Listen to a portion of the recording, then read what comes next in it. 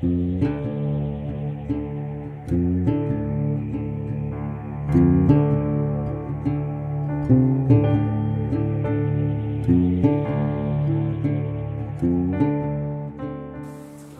Moin, willkommen in der Garage. Ja, unter den letzten Beiträgen waren ja auch wieder, oder bei dem letzten Video waren ja wieder jede Menge Kommentare drunter, was die Gabel betrifft. Und also mir war klar, dass die, Kabel, dass die Gabel so einen kleinen Knick macht. Aber es gibt da keine Maße irgendwie, wie weit dieser Knick ist. Deswegen hatte ich gesagt, irgendwie hier einmal habe ich das ausgemessen. Und vielen Dank an alle, die sich daran beteiligt haben und die zu ihrem Moped gegangen sind und das vermessen haben. Das gleiche Ergebnis, also ist diese Gabel hier nicht krumm. Ich habe hier auch nochmal eine Gabel, original, nagelneu, alter Lagerbestand. Und, weiß ich, kann man es erkennen, ja, ne? Also der Knick ist circa so 10, 12 Grad macht die den Knick. So. Und die ist hier unten richtig schön fest geschweißt. Also das ist schon in Ordnung. Scheint ja auch noch von der Boxer 1 zu sein, weil die hier noch die schwarze Kappe hat. Aber wer weiß das so genau. So. Also das Thema mit der Gabel ist geklärt. Äh, dann so, war ja der Luftfilter mit Löchern. Da wurde mir jetzt einer geschickt. Und ist sogar auch ein neuer Originaler. Piaggio-Zeichen ist drauf, das DGM ist drauf. Also, ich hatte letztes Mal, als ich das Video aufgehört habe, habe ich, war ich irgendwie so im Wahn. Man kennt das ja, dann ist man irgendwo in so einem, wie sagt man heute, in so einem Flow. Und äh, dann habe ich den Motor eingebaut.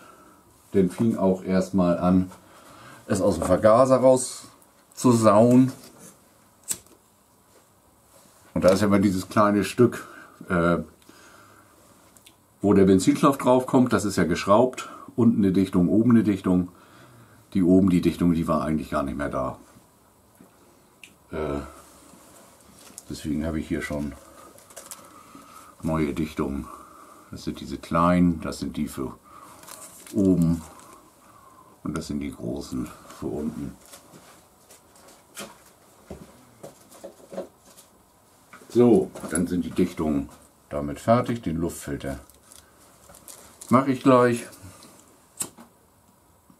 Und dann kann es hier eigentlich auch weitergehen. Ich will gleich mal gucken, ob sie einigermaßen anspringt. Jetzt, jetzt steht sie ja seit einer Woche. Mal gucken, ob sie ordentlich anspringt. Nicht wundern, dass das alles ein bisschen rappelt. Auspuff ist noch nicht fest. Mein Motor ist auch noch nicht richtig festgezogen. Weil ich will ja gleich hinten neuen Reifen draufziehen.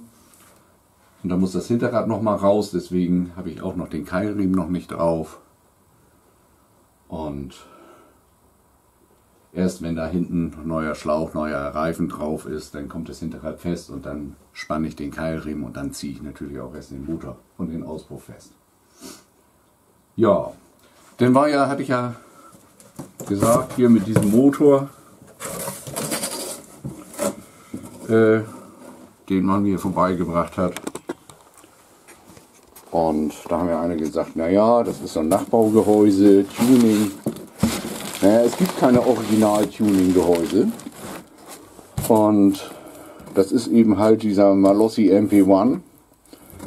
Und es gibt auch natürlich original keine Gehäuse, die äh, mit Membran-Einlass sind. Also das ist schon komplett anders. Und billig kann man dieses Ding sowieso nicht bezeichnen, weil allein das nackte Gehäuse kostet ja schon 200 Euro. Und dieser Motor mit neun Zylinder, Zylinderkopf, ich weiß jetzt nicht, was für eine Kurbelwelle drin ist, aber ich nehme an, da baut man ja eigentlich eine Vollwangenwelle rein Vergaser, Luftfilter und diesem ganzen Schickimicki ist allein der Materialwert von dem Motor 650 Euro. Ich finde, billig ist das nicht. Und diese MP1-Gehäuse, eigentlich laufen die auch. Aber gut, da kümmern wir uns noch drum, was damit ist. Den packe ich jetzt erstmal hier. Ich weiß gar nicht mehr wohin hier mit dem ganzen Kram. Wohin?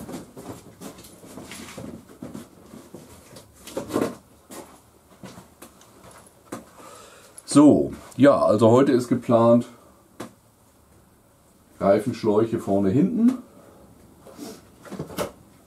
Neuer Keilriemen ist auch da für die Boxer. Neue Schläuche sind da, neue Felgenbänder sind da. Also es ist einiges da. Und was sagt ihr denn eigentlich mit dieser neuen YouTube-Geschichte? YouTube hat ja jetzt erkannt, oder beziehungsweise ist es ja jetzt so, dass YouTube Werbeblocker erkennt. Und die ersten Male kam noch, sie benutzen einen Werbeblocker. Ja, ich benutze Werbeblocker, weil ich sage irgendwie, diese ewigen Dauereinblendungen von Werbung nerven mich. Deswegen habe ich auch gesagt, bei mir wird keine Werbung eingeblendet.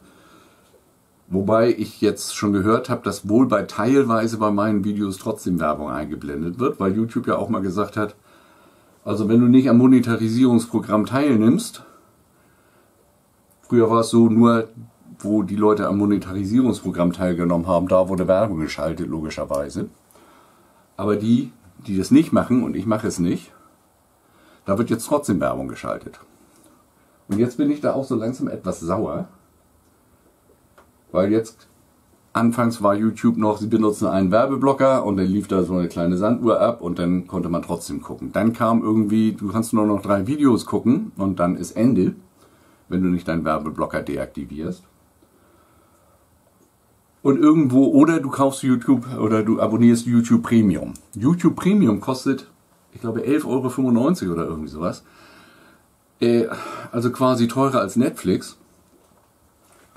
Und Natürlich, YouTube stellt die Plattform bereit und äh, diese ganzen Geschichten.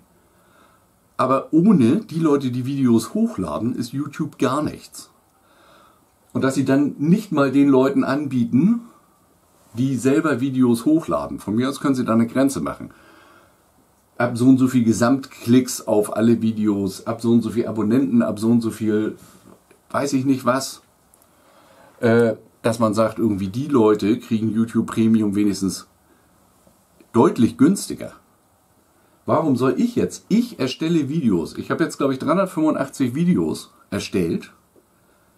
Und die Leute gucken das und die klicken das. Und das finde ich natürlich auch schön. Aber wenn YouTube jetzt sagt, irgendwie, äh, wir schalten da auch Werbung und äh, dann frage ich mich langsam, warum soll ich mir die Mühe machen, hier und Videos machen, damit YouTube damit Geld verdient? Weil ich will damit kein Geld verdienen. Ich will es einfach nicht. Äh, das ist so ein Ding, das ist nicht meins. Ich hasse Werbung wie die Pest. Überall wird man damit bombardiert. Und noch dazu mit einer Werbung, wo ich manchmal sage, dafür kriegt so ein Creative Director irgendwie ein paar tausend Euro, dass er so einen Schwachsinn irgendwie, und es gibt auch irgendwelche Leute in den Firmen, die entscheiden, oh, toller Werbeclip oder den nehmen wir. Wo du dann manchmal denkst, irgendwie, für intelligenzlose Menschen. Aber genug aufgeregt, wir wollen ja hier weitermachen. Ich wollte jetzt gucken, ob sie anspringt. Ich kann ja vorher mal den Luftfilter gegen den neuen tauschen. Bei den anderen, den hatte ich ja, da hatte ich erstmal die Lacker zugeklebt. Und aber bei dem Thema Werbung kann ich mich echt aufregen. Das geht mir so auf den Zünder, Werbung. weil sie schwachsinnig ist und weil heute alles nur noch irgendwie, es geht nur noch um Werbeeinnahmen. Ich bin ja nun auch kein großer Fan von irgendwelchen Sportgeschichten, aber wenn man mal in der Tagesschau dann teilweise mal so irgendwas sieht von irgendwelchen Sportgeschichten und beim Handball haben sie jetzt schon auf, auf, dem, auf dem Spielfeld schon Werbung. Die Spieler kann es gar nicht mehr erkennen vor lauter Werbung. Ah, wo lege ich denn jetzt diese ganzen Sachen hier mal hin? Dass ich das nicht vergesse, dem Besitzer nachher alles wieder mitzugeben.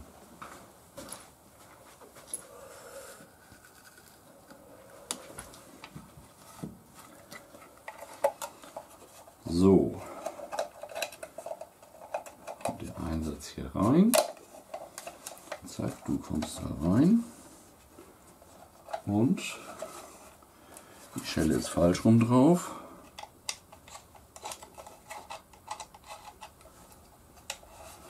Weil der kommt ja so drauf. Und ich muss dann hier von der Seite aus an die Schraube rankommen, um das festzuziehen.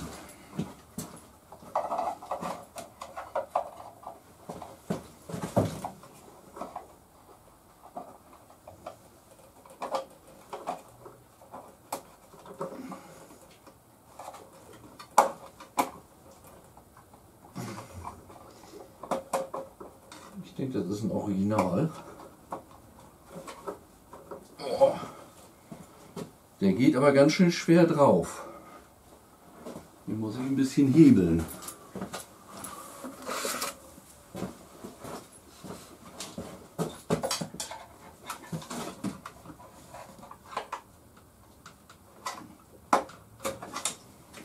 Schnups.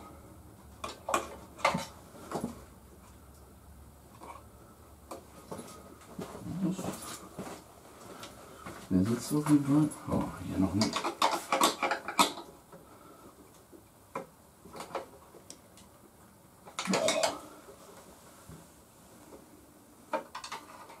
Das ist wieder, das ist aber auch.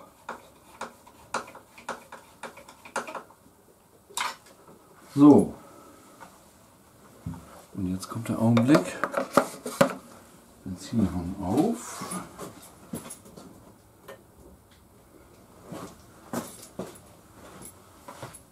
Mal sehen, ob sie Start Kaltstarter braucht oder nicht. Eigentlich ist es warm genug hier drin. Ja, vielleicht doch. Achso, Kaltstarter ist sogar. Ein bisschen Gas geben.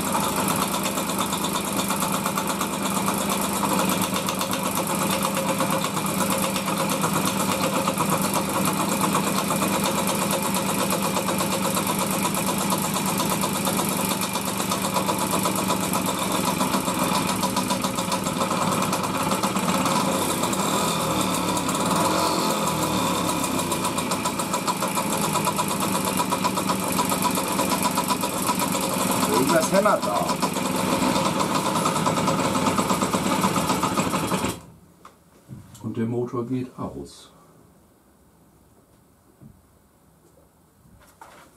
Und er rotzt hier hinten noch ganz schön was raus. Wie ist denn der? Irgendwo schlägt der Motor doch hier. Schlägt der Motor doch irgendwo gegen.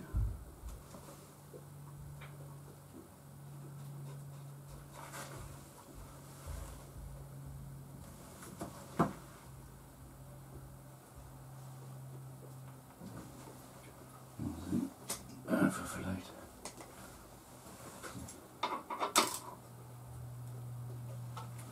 Zieh den jetzt mal fest. Dass der Motor sich in sich einfach bewegt.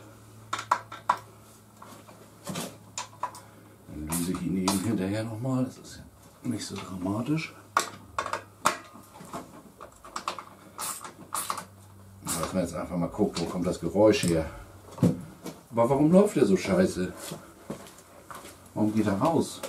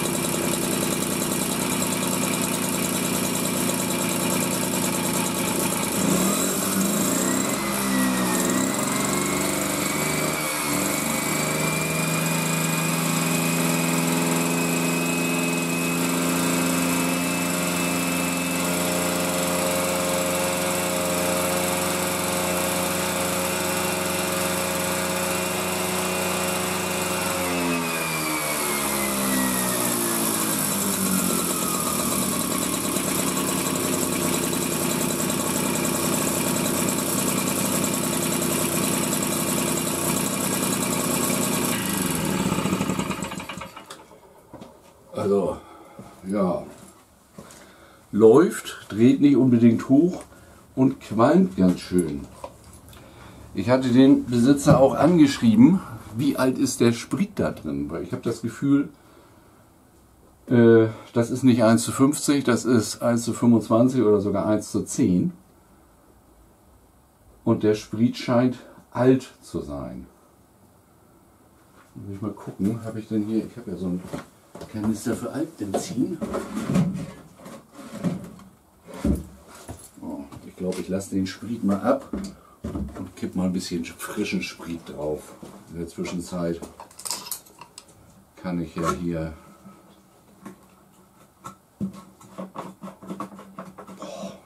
Boah, erstmal aufmachen hier.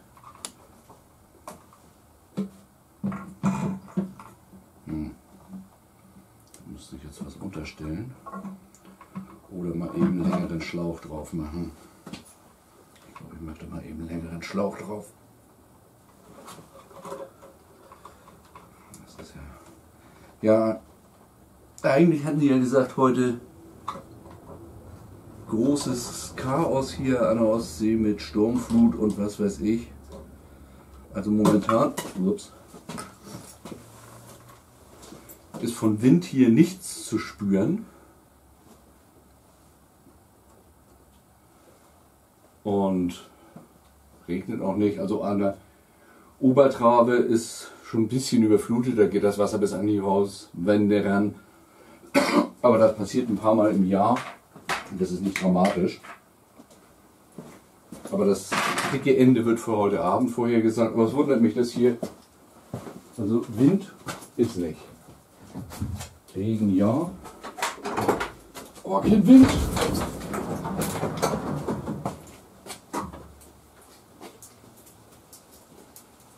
So, die Abgase mal rausziehen. Nehmen hier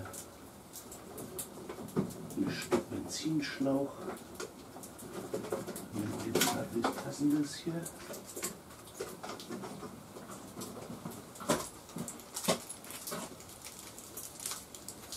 Und lass mal den alten Sprit ab. Ich glaube, der taucht nichts mehr. Ja, also wie ihr seht, es regnet. Es ist auch, naja, es ist ein bisschen, es ist nicht windstill, sag ich jetzt mal. Aber ich sag mal, hier oben sind wir ja andere Sachen gewohnt. Hier heißt der Wahlspruch, Sturm ist, wenn die Schafe keine Locken mehr haben auf dem Deich. Das ist ja hier. Ja. Wenn andere von Sturm sprechen, sagen wir Norddeutschen, es frischt ein bisschen auf. Gut, Spriet läuft. War natürlich blöd, dass der Tank ziemlich voll war, aber ich sag mal, da passen drei Liter rein. Das sollte in den Kanister noch reinpassen. Warten wir es ab. So, jetzt wollen wir ja womit fange ich denn jetzt an? Äh, Hinterrad, Vorderrad, das ist eigentlich egal, aber ich muss eigentlich erstmal den Sprit ablassen, weil der Kanister steht da so, sonst kenne ich ja bei meinem Glück. Ich bewege das Moped, der Schlauch flippt aus dem Kanister raus und schon habe ich hier die Riesensauerei. Na gut, dann warten wir eben halt noch einen Blick ab. Ne? So, der Sprit ist abgelassen. Dann gucken wir mal, dass wir hier beim Vorderrad anfangen. Der Tacho geht sogar. Das ist schon mal der Hit. Boah, Sache mal. Oh. Fest ist fest, ne? kann man auch schon mal so sagen. Jetzt haben wir hier wieder das Blöde, dass wir hier den Zug nicht aushängen können. Das heißt, ich nehme hier oben mal, oh, die ist auch nicht ganz fest gewesen, hier die Schraube für die Bremsankerplatte, nehme ich hier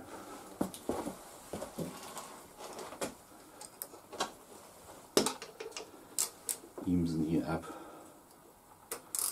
Den Bremshebel obwohl das ist eigentlich auch Quatsch, weil das hat Piaggio damals nicht gut gemacht.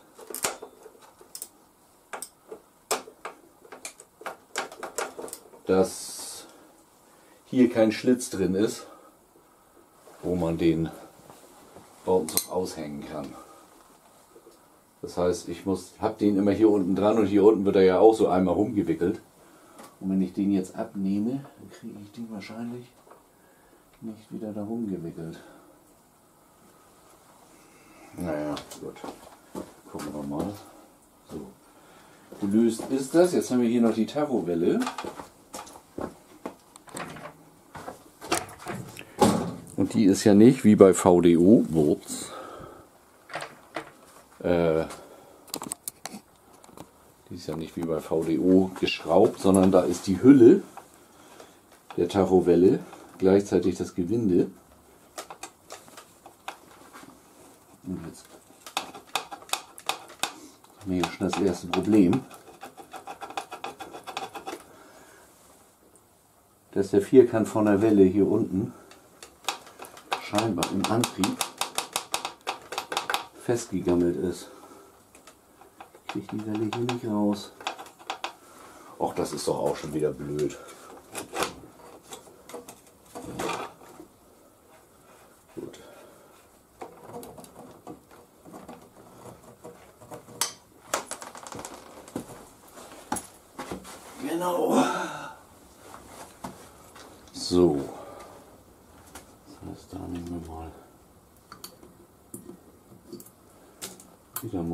Magnetschale.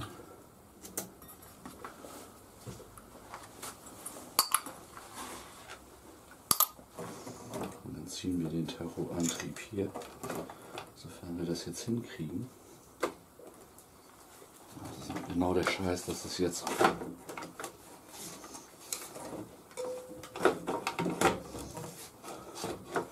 dass eigentlich die Gabel im Weg ist. Okay, was ist denn das für ein Scheiß jetzt hier?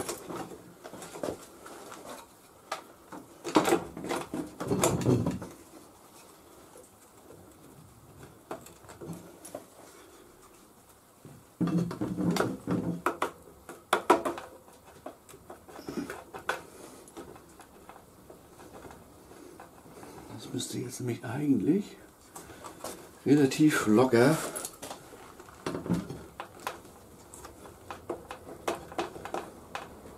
aber so locker dann doch wieder nicht.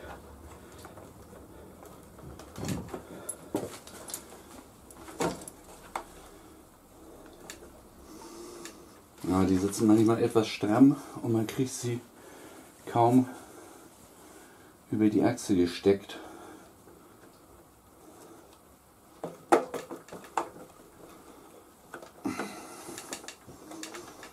Deswegen weite ich die eigentlich noch ein bisschen auf. Und das dann doch extrem. Oh Gott, Alter. So, hier ist jetzt der Filz noch dran.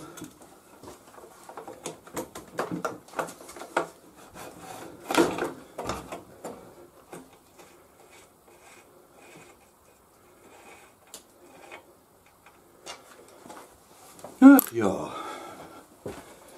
das doch alles so einfach wäre.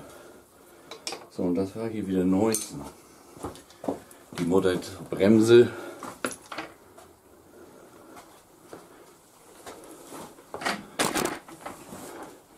Die das Bremsschild hier hält. Ist wieder 19.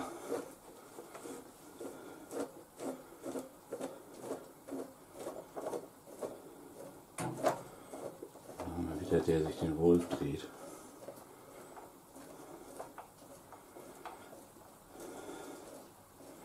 Und wenn ich unten den Bremszug löse, der ist so ausgefranst, dann müsste ich da also auch wieder einen neuen Zug reinbauen. Und der ist nur auf diesem überstehenden Ende so ausgefranst.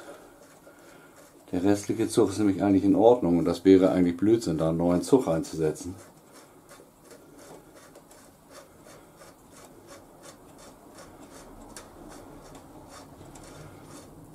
Also muss man einen Tod, muss man sterben.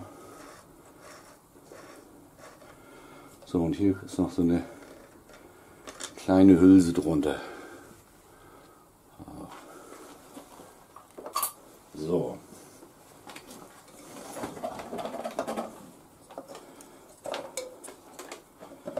Und hier haben wir jetzt das gleiche Problem mit dem. Ne, geht.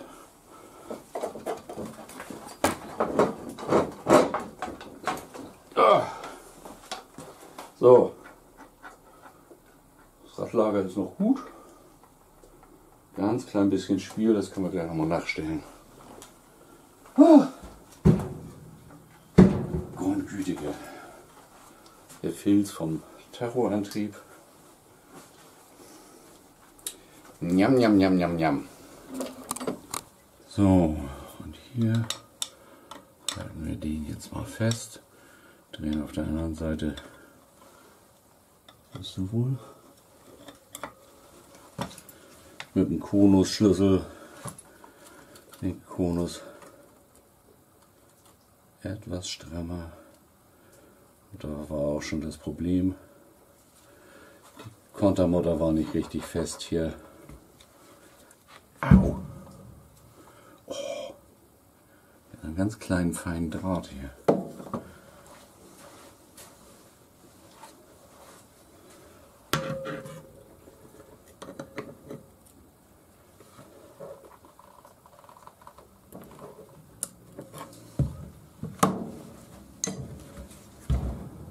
So, nichts wackelt.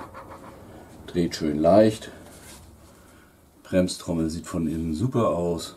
Gibt es nichts zu meckern. Also können wir jetzt hier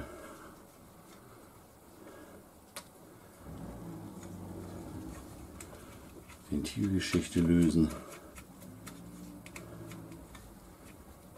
Das sind hier die Original, auch noch die Original-Staubschutzkappen, die sie damals genommen haben. Die werden wiederverwendet, dann nehme ich nicht die neuen, die damit geliefert wurden.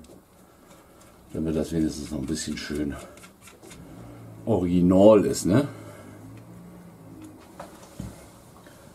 So, wo ist jetzt mein Ventilklau?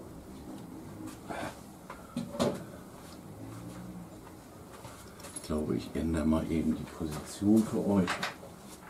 Das ist ja irgendwie auch blöd.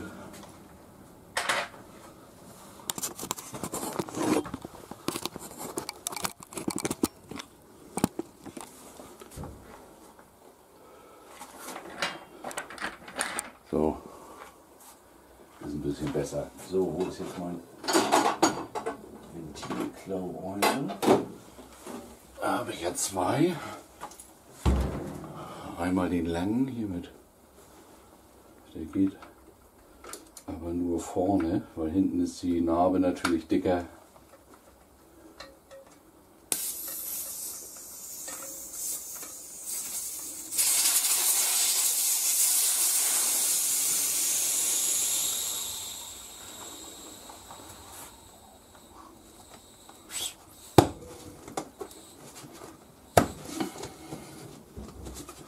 So, schön ins Tiefbett drücken, den ganzen Scheiß.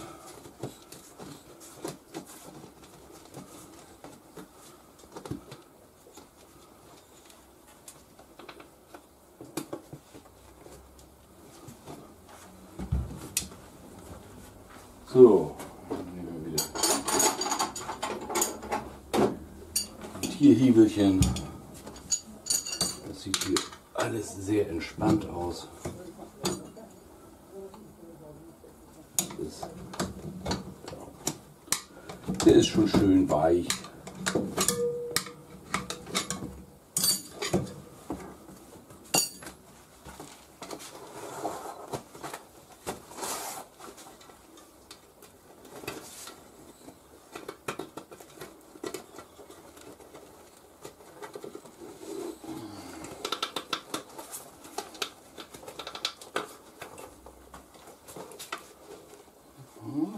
Rost drin. Ne? Natürlich nicht so schön. Was ist hier für ein Knoten? Aha. Klebt der da irgendwo fest? Nee, geht raus. So. Und dann kann man den schon so runternehmen. Ja, aber ist noch der Originale. Oh, hier ist ein bisschen Rost. Jetzt nichts Dramatisches, aber das Felgenband.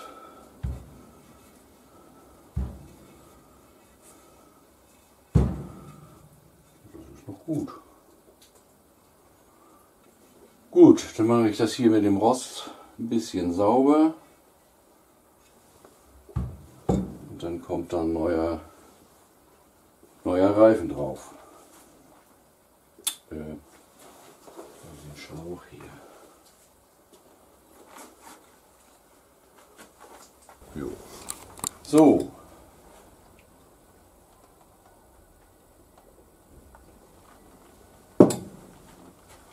Es ist jetzt einigermaßen sauer. Das ist hier Goldpapier. Nehme ich nachher mit weg. Habe ich auch erst gleich. Den Reifen habe ich schon mit Matsche eingeschmiert. Wen es interessiert, 2 17. Das ist ein Heidenau M3. Habe ich genommen, weil der dem Originalprofil am ehesten äh, entspricht. Wir mal gucken, wie wir den hier, wie wir den drauf kriegen.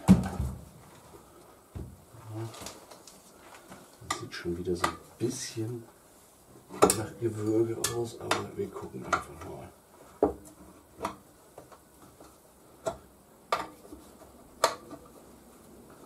Hm, Geht eigentlich. So. Schwupps ist er drauf. So, jetzt kommt die alte Geschichte. Den Schlauch ein bisschen aufpusten. Aber auch nur so weit, dass er gerade so ein bisschen die runde Form annimmt. Den da reinfriemeln, weil dann kann ich sicher sein, dass ich keine Falten drin habe in dem, im Reifen. Und äh, ja, der wird natürlich vorher noch talkumisiert. Dazu kommt er hier in die Talkumtüte rein.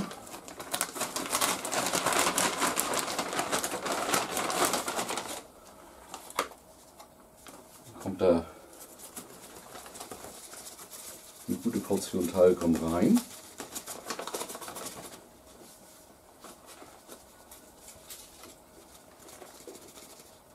Und dann wird die Tüte ein paar Mal ordentlich geschüttelt.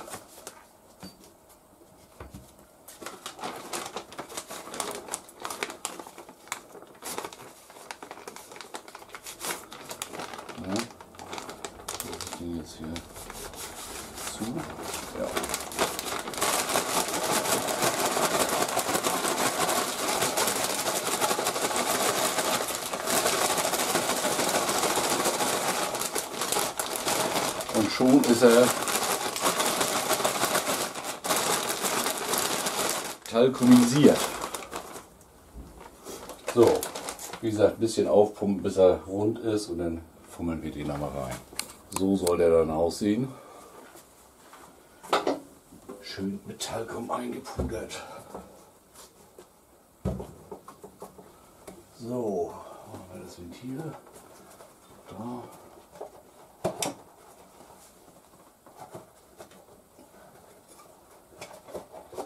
Und jetzt muss der hier eben halt reingeknetet werden. Ne?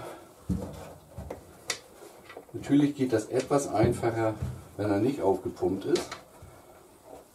Aber dafür hat man dann schnell eine Falte drin. Und dann mache ich das doch lieber so.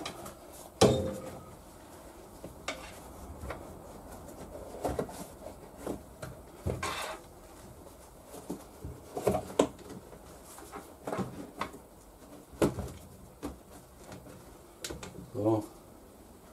Jetzt ist er schon mal fast drin. Dann noch das Ventil hier durchfriemeln.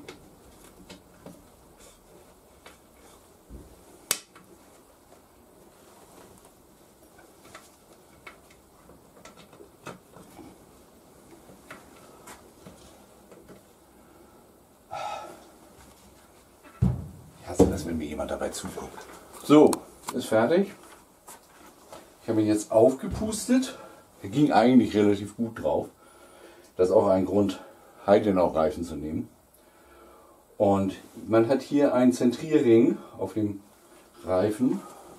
Jetzt will ich auch nochmal an dem Reifen, der hier so hier diesen diesen Strich hier. Und der soll überall gleichmäßig sein. Das heißt also, wenn der Zentrierring hier irgendwie 4 mm oberhalb ist und da ist er verschwunden, dann wobbelt das Rad so rum.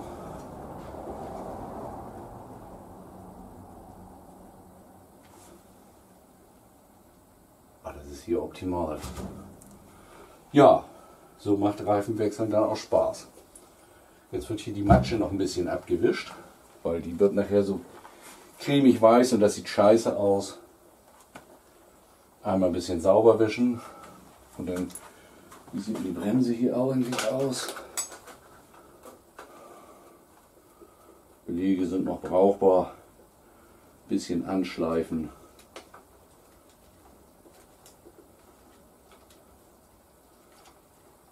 Ja, das reicht. So, noch ein kleiner Hinweis. Die Achsmuttern vorne. Die haben eine Seite flach und eine Seite ist so leicht angefarst. Die angefarste kommt natürlich nach außen, weil sonst habe ich nachher hinterher natürlich keinen richtigen, keine klare Verbindung hier zur Scheibe. Das wäre natürlich dann auch äußerst doof. So. Wo habe ich jetzt hier?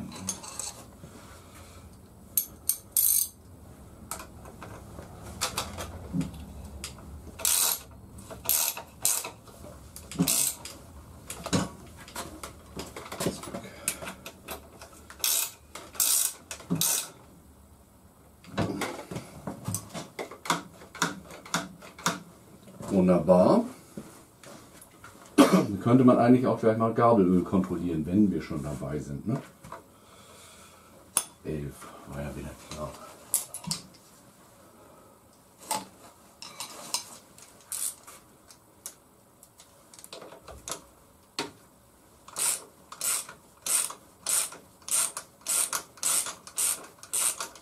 Das soll sein bis Auch wie beim Getriebe bis Einfüllöffnung. So, und da sehen wir, da kommt schon mal nichts raus. Und auch hier ist der Dichtring mehr oder weniger atomisiert. Das heißt, da kommt gleich ein neuer Dichtring drauf. Da füllen wir gleich Öl ein. Wie sieht es auf dem anderen Kolben aus? Wahrscheinlich auch nicht besser, ne? Wie sollte es auch? Es sei denn, eine Seite ist extrem undicht.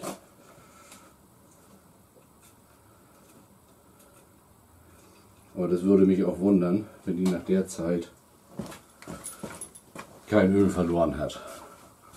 So, dann mache ich mal eben hier die Dichtungsreste ab. Und dann füllen wir noch ein bisschen Öl nach. So, da kommt 20 W Forkenöl rein. Und das müssen wir natürlich wieder mit so einer Spritze aufziehen. Ne?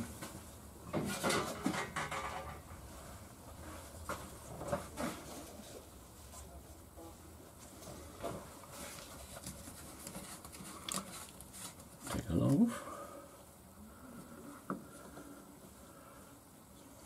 Hm. Kommen wir da unten ran mit der Spritze? Oh, müssten wir eigentlich. Ja. Ziehen wir da einfach mal ein bisschen was auf. So, 10 Milliliter habe ich jetzt aufgezogen.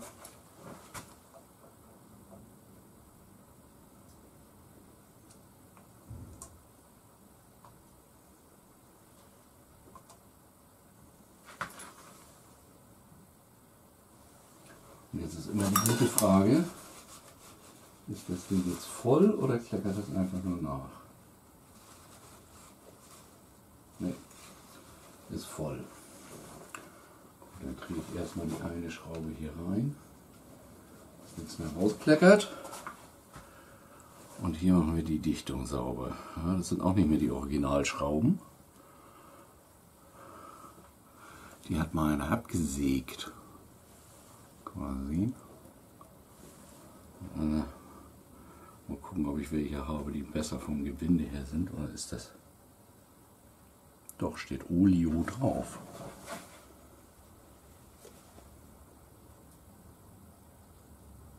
Olio.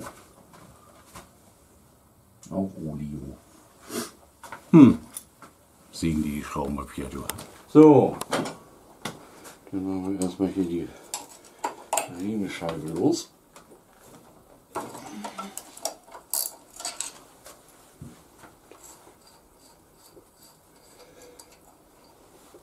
Ja, an der Gabel fehlte links und rechts ungefähr 10 Milliliter, was im Klartext bedeutet, wenn ich mich recht erinnere, ist das ein Drittel. Und die Riemenscheibe hier, ja, die muss auf jeden Fall ein bisschen sauber gemacht werden. Das ist ein bisschen Gammel. Ich habe das Gefühl, die eiert ein ganz klein bisschen, aber das sieht so- soweit alles ganz gut aus. So, jetzt müssen wir gucken, dass wir die Bremse ausgehängt kriegen. Mal reicht das, dass ich die hier rausnehmen kann. Wahrscheinlich gerade eben nicht, ne? Ah, das ist doch wieder ein Scheiß. Ich versuche das jetzt gerade am Lenker, den Bauten so ein bisschen zu entspannen mit der Stellschraube. In der Hoffnung. Ach doch. Gerade ebenso. Weil das ist hier auch immer so blöd, das alles auszuhängen. So, jetzt brauchen wir 17er Schlüssel.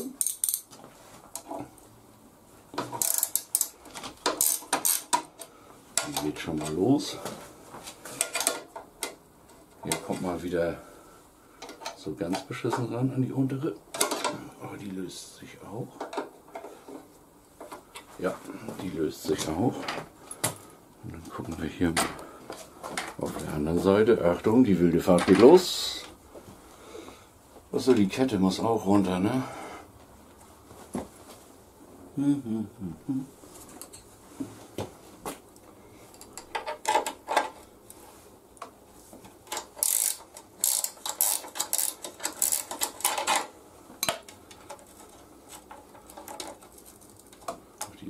lose. Was ist das schon wieder für ein Scheiß? Die ist komplett lose, aber ich kriege sie nicht hier über den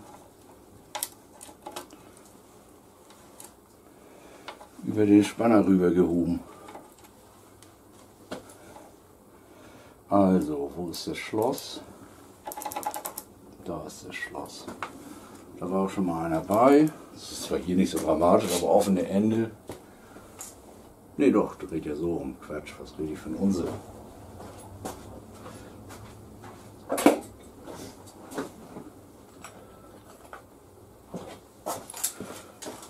Mit dem Motorlauf, dass das so, so gerappelt hat, das scheint tatsächlich zu sein.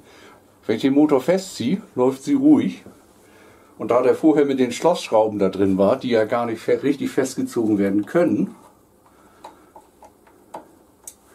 ist dann auch erklärlich, woher das Geklapper kam.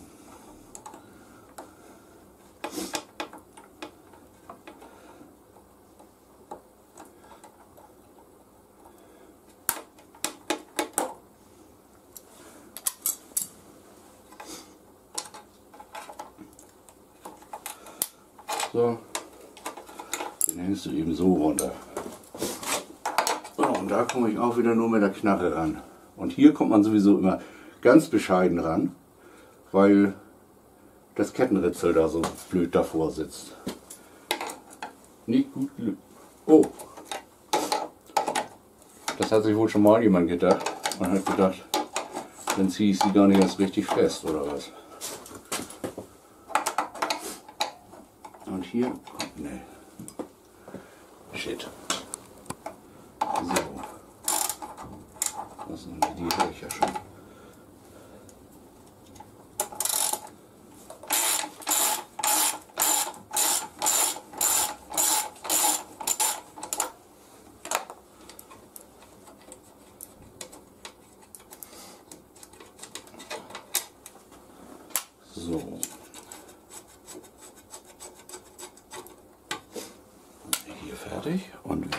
Die Fahrt los. Andere Seite.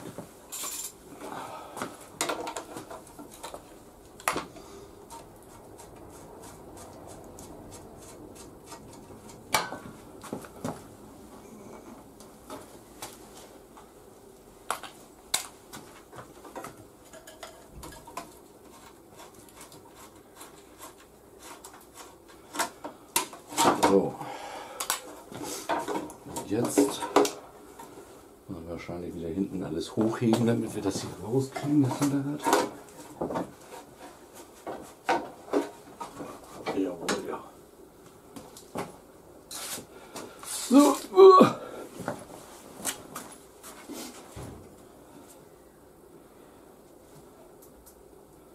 So, und jetzt müssen wir hier dieses Kettenritzel lösen. Da habe ich mir extra mal einen Schlüssel für angeschliffen.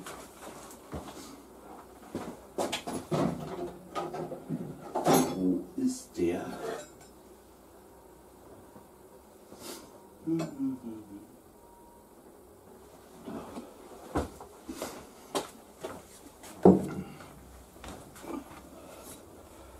Etwas schmaler geschliffen, damit ich hier genau dazwischen komme.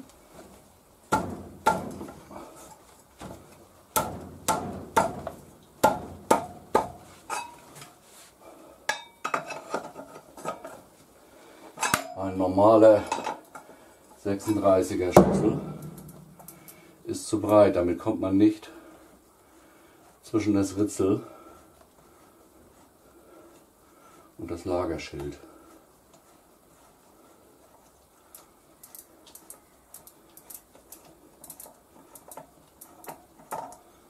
So. Lagerschild abnehmen. Lager. Ist noch gut. Große Überraschung. Ui. Hm. Ui. Ist aber doch ganz schön dreckig da drin. Und der scheint hier, der Simmering, auch undicht zu sein. Nee. Ist mit Fett eingepinselt. Wir können ja mal sehen, wie viel, wie viel Öl da noch drin ist. Aber das Ding muss auf jeden Fall sauber gemacht werden hier. Bäh. Machen wir das mal eben. Vielleicht hört man es draußen schon. Ja. Wie soll es schön? Es frischt auf. So, das Getriebe habe ich mal sauber gemacht. Das Öl stinkt furchtbar. Also, das wird auch nochmal zerlegt. Sauber gemacht. Neu abgedichtet. Und dann kommt da frisches Öl rein. Aber, jetzt haben wir ja hier erstmal nochmal den, den alten Reifen. Da wollen wir doch mal gucken, ob wir hier.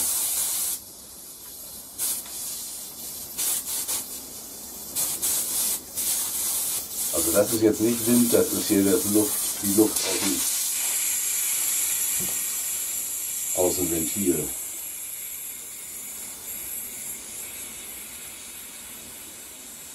Also Probefahrt mache ich heute nicht mehr.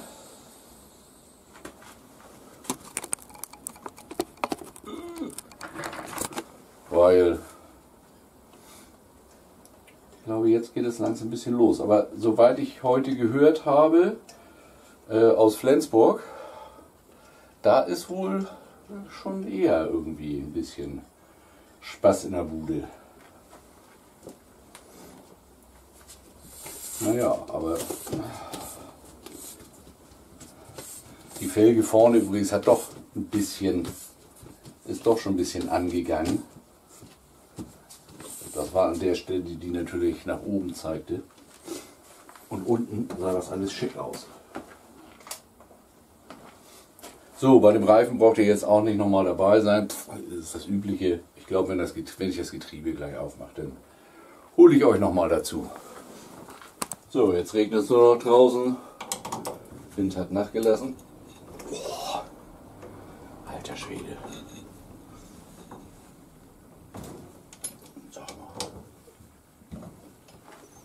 Ich glaube, es geht los hier.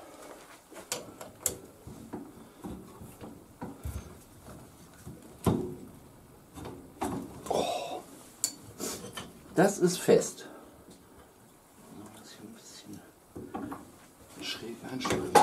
Stift hier als Bremse. Halleluja. Hier hat aber einer richtig festgeballert.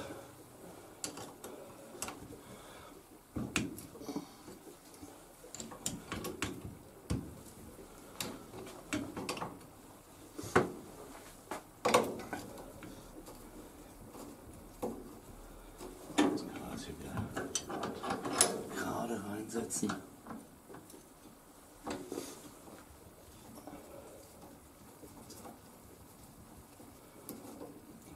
Vermute, das ist. Boah. Ihr kennt das sicher, altes Getriebeöl, ne? Das stinkt. Boah.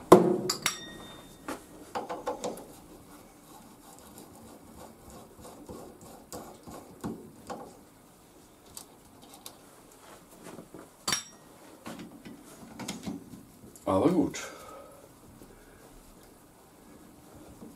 Immerhin die Gewinde für die Hinterachsschrauben sind nicht durchstoßend, das ist immer schon mal sehr gut.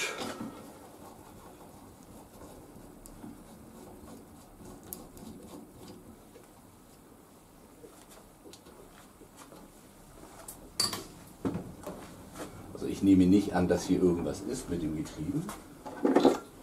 Aber der Simmering, glaube ich, auf der anderen Seite, der ist ein bisschen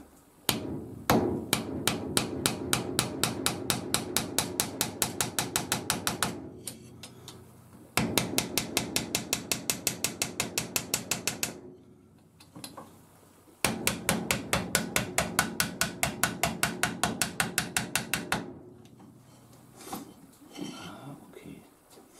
Hier klemmt er noch ein bisschen. Jetzt kommt er.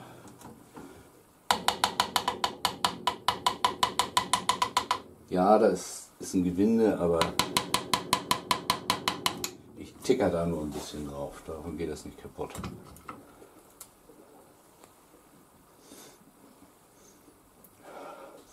Hm. Halte Dichtung.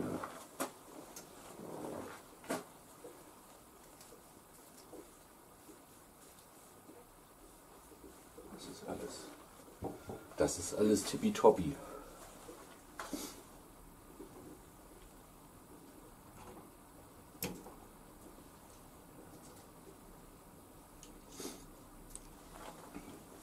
Also, da ist also auch noch genug Öl drin.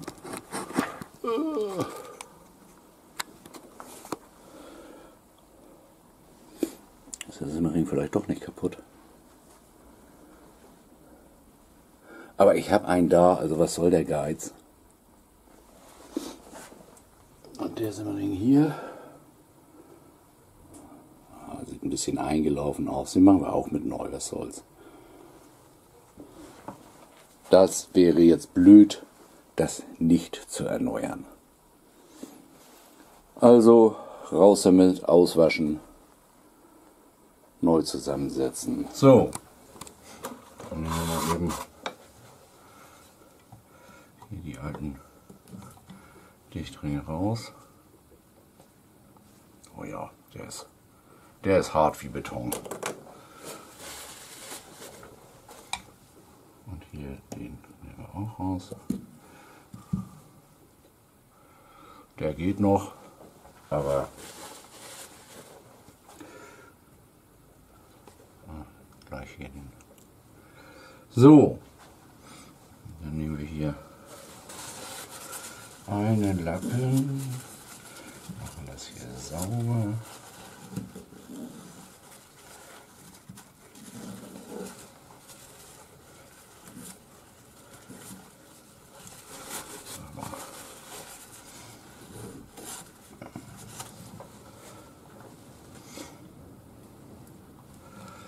und drücken den Saring hier rein.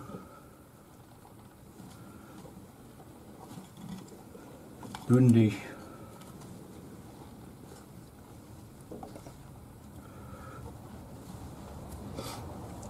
Und das gleiche machen wir hier auch nochmal.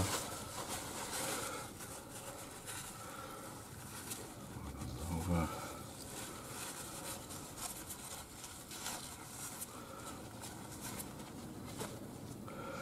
So, und hier kommt auch ein neuer Simmering rein.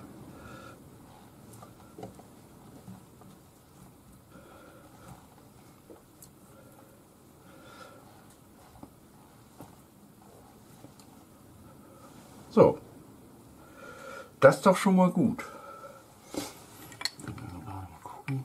Ja, der muss noch ein bisschen nachgesetzt werden hier. Oh, dafür haben wir hier so einen Klopfer.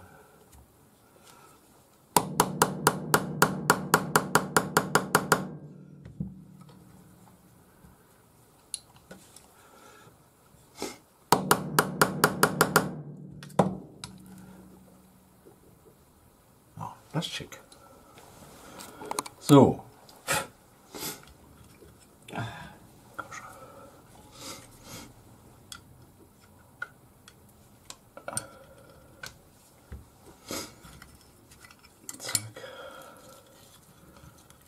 Ein bisschen eingeölt. Ausgleichsscheibe drauf, also Anlaufscheibe drauf. Dann kommt die Achse in der Reihenfolge hier, die Feder, hier die dünne Scheibe und hier oben ist auch nochmal eine Anlaufscheibe. Die kommt allerdings natürlich erst zum Schluss drauf, da muss ja noch das große Zahnrad drüber. Das heißt, das kommt so rein und so spanne ich das jetzt erstmal ein, damit mir der gegen Federdruck nicht immer wieder nach oben hüpft. So, da kommt jetzt das große Rad drauf, zwar mit der großen Fläche, also nicht da, wo die Markierungen sind mit den Zähnezahlen, sondern mit der großen Fläche nach oben, weil die nachher hier gegen die beiden Zapfen vom Ausrückhebel gehen. So, das können wir schon mal ein bisschen verdrehen. Beziehungsweise jetzt müssen wir erst die kleinen Räder erst die kleinen Räder einbauen. Und zwar, ich gerade mal gucken. Das kommt hier rein. Die, Lager kriegen alle erstmal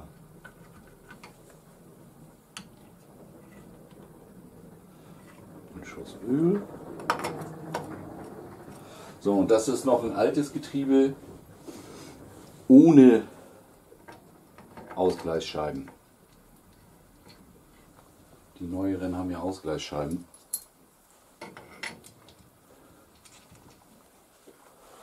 So, kommt das hier rauf. Ja, die Zähne nicht überein. Doch jetzt. So.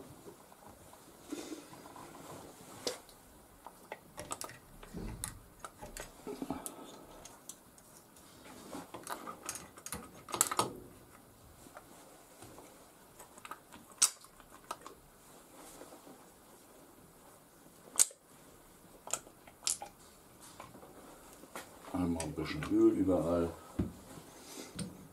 Und dann passt das. Und jetzt muss man, wenn man das hier dreht, aufpassen, weil in dem Moment, wo das große Zahnrad sich so dreht, dass es hier über die Stifte kann, dann springt das nämlich hoch. So, dann machen wir die Dichtfläche eben noch ein bisschen sauber. Dann nehmen wir uns mal ein neues Tuch.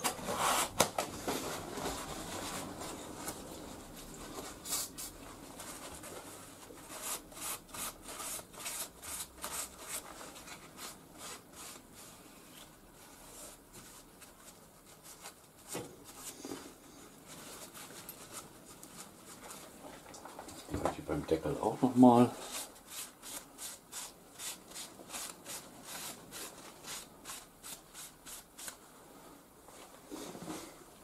So, jetzt kommt hier die Dichtung drauf. Und zwar so. So, hier braucht man eigentlich in der Regel keine Flüssigdichtung.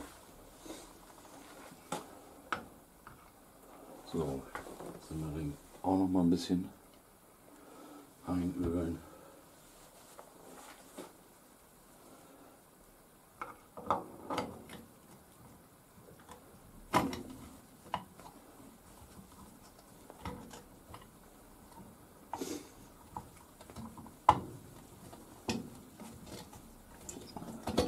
So. Und jetzt drehen wir die Schrauben an. Aber erstmal nur andrehen und dann gucken wir mal, ob es leicht geht. Ich drehe die Schrauben eben mal kurz an. So, ich habe jetzt zwei Schrauben über, gegenüberliegend erstmal angezogen. Dann merkt man nämlich auch schon, geht es schwer oder geht es nicht. Wenn es schwer geht, dann sitzen irgendwelche von den Anlaufscheiben nicht richtig. Meistens die hier unter der Eingangswelle. Aber das sieht gut aus. Gut, dann drehe ich eben den Rest zusammen. Dann kommt die Bremse wieder dran und dann können wir das eben einsetzen. So, und jetzt kommt wieder die alte Geschichte mit dem. Der kriegt hier in der Führung erstmal ein klein bisschen Fett.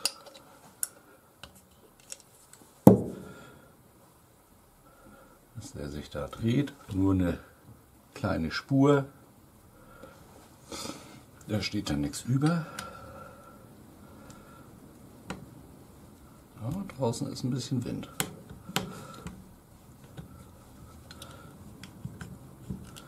So. Und jetzt haben wir hier immer die Geschichte. Jetzt machen wir erstmal, kommt hier die Scheibe drunter. Dann kommt der Sicherungsring darüber. Da muss man mal aufpassen, dass der einen nicht abhaut.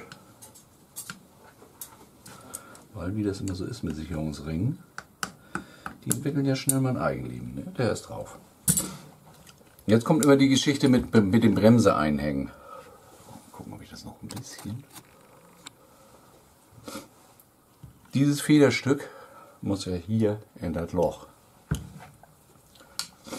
Und da gibt es im Werkstatthandbuch ein eine Anleitung, wie man sich dafür ein Werkzeug baut. Und das habe ich hier auch. Und das Blöde ist immer nur, man kann es, dass man sich da, man kann das nicht, man kann sich hier nicht so richtig, das ist immer blöde, das so zu hebeln, man rutscht da schnell weg. Aber jetzt hängt sie schon mal ein klein bisschen drin. Jetzt brauche ich hier noch einen kleinen Schlag.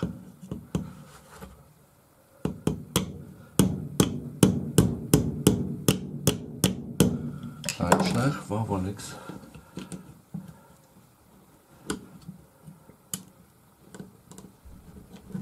So, jetzt. So, und jetzt ist es drin und alles gut. Also das Werkzeug sieht so aus.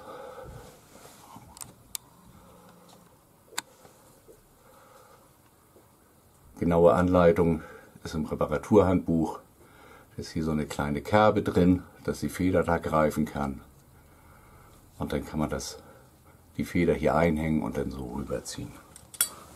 So, die Bremstrommel ist von innen auch wieder sauber. Wir können das auch hier reinpacken. So, und da fragte der Besitzer mit dem Abstand hier. Aber da kann ich, an dem Abstand kann ich letzten Endes überhaupt nichts ändern. Der ist ja fest vorgegeben. So, jetzt kommt das Lagerschild hier wieder rauf.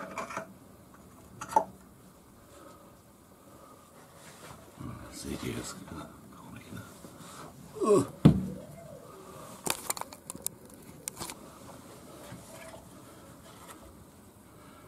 Lagerschild einfach aufstecken. Ritzel wieder drauf. Das ziehe ich jetzt mal einfach ein bisschen fest. Das zieht sich ja nachher, wenn man antritt, das Moped antreten will, zieht sich das von selber fest.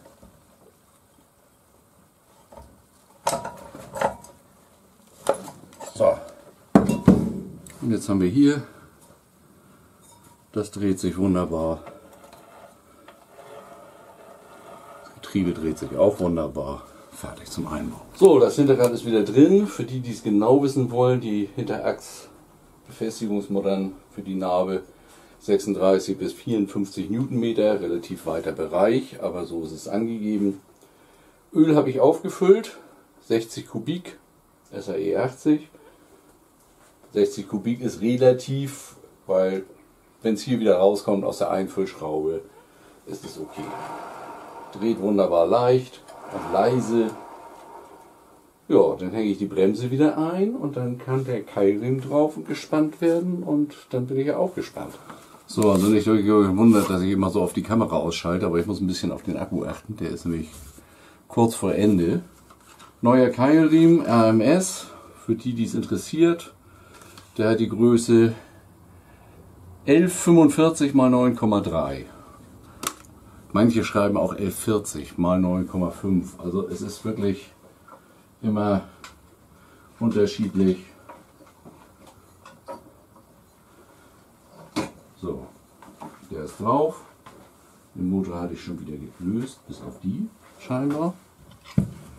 Und die ist los. So, jetzt gucken wir mal, wie weit können wir den nach vorne drücken. Die, ja, die muss ich nochmal richtig lösen.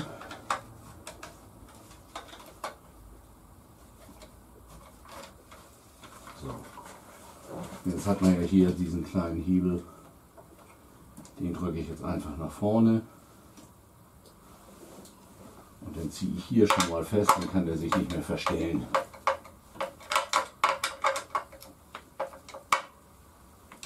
So, jetzt kann ich Auspuff festziehen, Motor festziehen,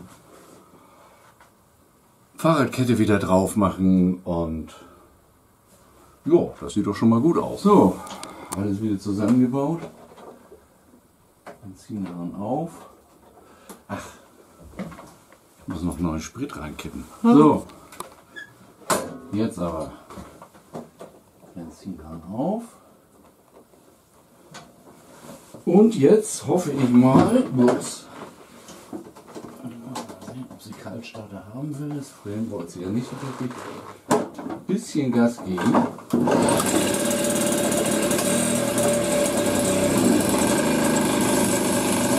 bisschen Kaltstarter haben.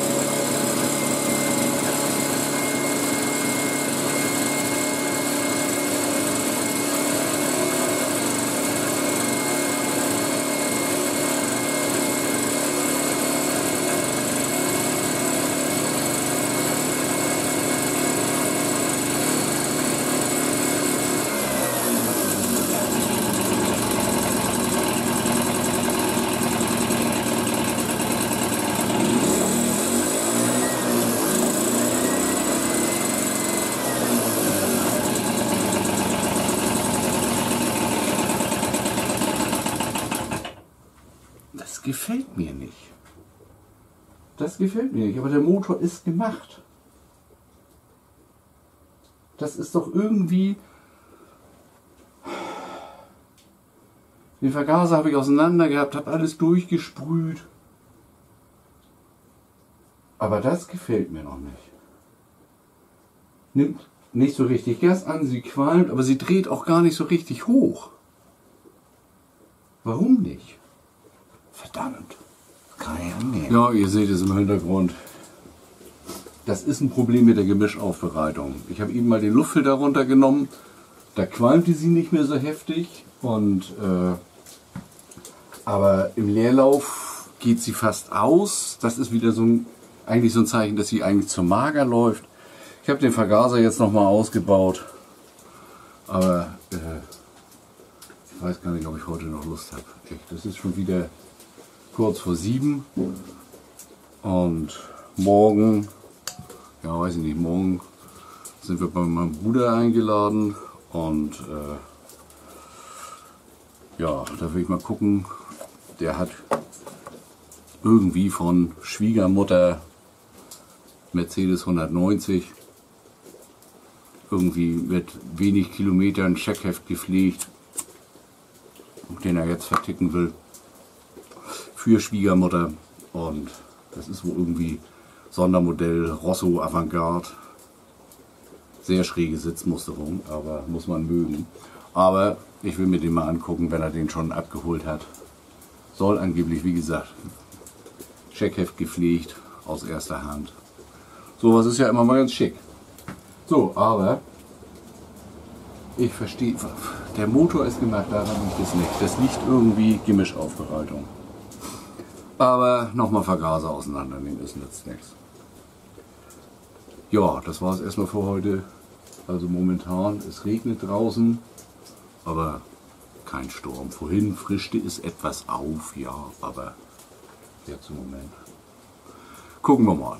Also, ja, leider immer noch nicht so ganz erfolgreich, aber ich suche weiter. Bis zum nächsten Mal.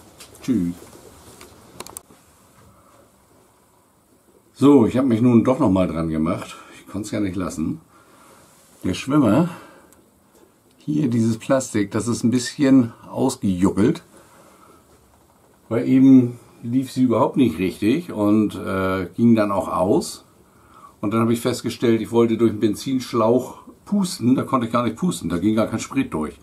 Jetzt habe ich den Schwimmer getauscht. Äh, das lief schon etwas besser. Und jetzt habe ich trotzdem nochmal den anderen Auspuff genommen, obwohl ich ja hier durchgepustet habe. Klar, das ist jetzt ein Sito, damit läuft sie natürlich sowieso besser, aber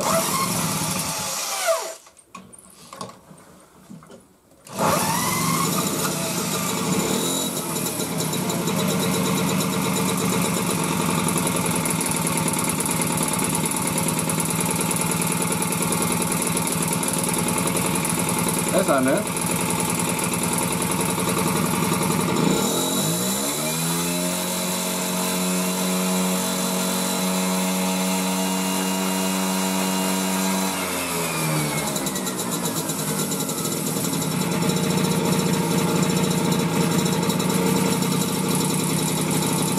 dreht auch höher, ja, logischerweise. Sito bringt natürlich was, aber sie läuft definitiv besser. Nur warum ist denn dieser Auspuff hier, der ist doch, der ist doch nicht verstopft.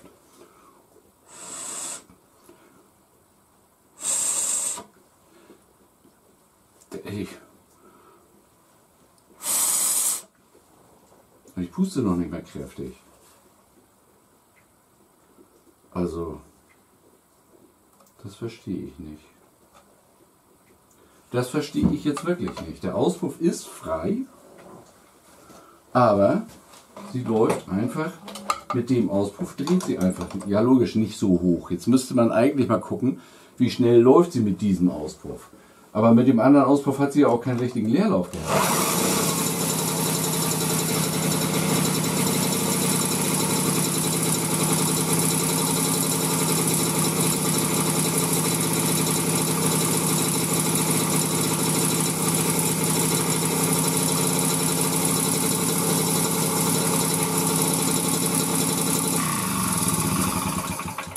Also,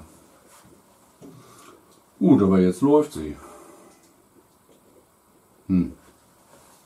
Also schon ein bisschen komisch. Also ich kenne das normalerweise ein bisschen anders. Aber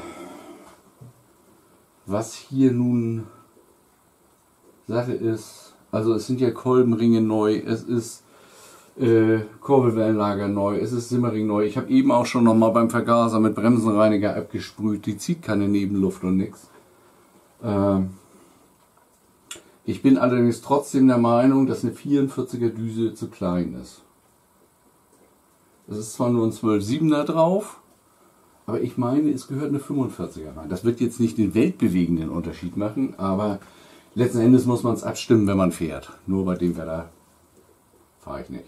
Da warte ich jetzt noch ein paar Tage, bis ich mal einen trockenen Tag, vielleicht ist es am Wochenende noch mal eine Stunde trocken, dann kann ich damit mal eine Runde fahren und mal gucken, wie sie so läuft, wie sie so Gas annimmt. Also Kraft hat sie, wenn ich die Bremse ziehe oder so, äh, dann will sie das Hinterrad schon drehen. Klar, ich ziehe die Bremse jetzt natürlich nicht voll Power, aber man merkt, also Kraft ist schon da.